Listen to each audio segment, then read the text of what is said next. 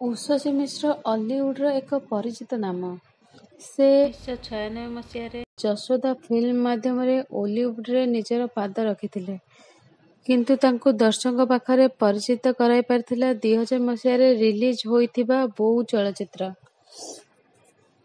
ଏହି ଅଭିନେତ୍ରୀ ଭୁବନେଶ୍ୱରର ରମାଦେବୀ କଲେଜରୁ ନିଜର ଗ୍ରାଜୁଏସନ୍ କମ୍ପ୍ଲିଟ୍ କରିଛନ୍ତି।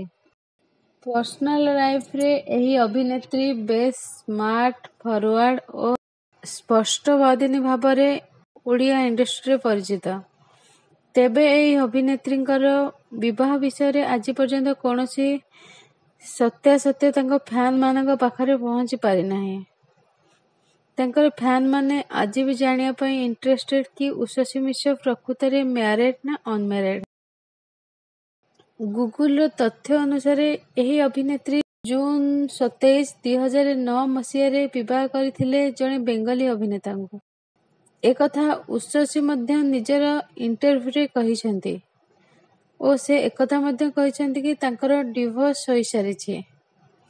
ସେ ବେଙ୍ଗଲୀ ଅଭିନେତା ରତନ ଲକ୍ଷ୍ମଣଙ୍କୁ ବିବାହ କରିଥିବାର ଜଣାଯାଏ। ସେ ତିରିଶରୁ ଅଧିକ ଓଡ଼ିଆ ଫିଲ୍ମରେ କାମ କରିବା ସହ ଅନେକ ବେଙ୍ଗଲୀ, ତେଲୁଗୁ ଓ ଛତିଶଗଡ଼ୀ ଫିଲ୍ମରେ ମଧ୍ୟ କାମ କରିସାରିଛନ୍ତି। ଏହାଛଡ଼ା ସେ ଯାତ୍ରା ତଥା ଟିଭି ସିରିଏଲରେ ମଧ୍ୟ କାମ କରିଛନ୍ତି। ଭିଡିଓଟି ପସନ୍ଦ ଆସିଲେ ଲାଇକ୍ ଓ ସେୟାର କରନ୍ତୁ। ଏପର୍ଯ୍ୟନ୍ତ ମୋ ଚ୍ୟାନେଲକୁ ସବସ୍କ୍ରାଇବ କରିନଥିଲେ ସବସ୍କ୍ରାଇବ ବଟନକୁ ପ୍ରେସ୍ କରି ସବସ୍କ୍ରାଇବ କରିନିଅନ୍ତୁ। ନିଜର ମୂଲ୍ୟବାନ ସମୟ ଦେଇ ଭିଡିଓଟି ଦେଖିଥିବାରୁ ଆପଣମାନଙ୍କୁ ବହୁତ ବହୁତ ଧନ୍ୟବାଦ।